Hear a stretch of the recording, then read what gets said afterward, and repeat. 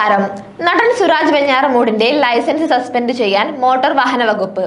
രാത്രി അമിത വേഗത്തിൽ ഓടിച്ച കാറിടിച്ച് ബൈക്ക് യാത്രക്കാരന് പരിക്കേറ്റ സംഭവത്തിലാണ് നടപടി. മോട്ടോർ വാഹന വകുപ്പ് മൂന്ന് തവണ കാരണം കാണിക്കൽ നോട്ടീസ് അയച്ചിട്ടും മറുപടി ലഭിക്കാത്തതോടെയാണ് സസ്പെൻഷൻ നടപടി സ്വീകരിക്കാൻ അധികൃതർ തീരുമാനിച്ചത്. ജൂലൈ ഇരുപത്തി ഒമ്പതിന് രാത്രി തമ്മനം കാരണക്കോടം റോഡിലായിരുന്നു കേസിനാസ്പദമായ അപകടം. സുരാജ് ഓടിച്ച കാർ ബൈക്കിനിടിച്ച് ബൈക്ക് യാത്രികൻ മഞ്ചേരി സ്വദേശി ശരത്തിന്റെ വലതുകാലിന്റെ പെരുവിരലിന്റെ അസ്ഥി ഒടിയുകയും മറ്റു നാല് വിരലുകൾക്ക് മുറിവേൽക്കുകയും ചെയ്തിരുന്നു. പാലാരിവട്ടം പോലീസാണ് എഫ്ഐആർ മോട്ടോർ വാഹന വകുപ്പിന് കൈമാറിയത്. രജിസ്റ്റർ ചെയ്ത് സുരാജിന് അയച്ച നോട്ടീസ് കൈപ്പറ്റിയതിന്റെ രസീത് ആർ ടി ഒക്ക് ലഭിച്ചിരുന്നു. നന്ദി.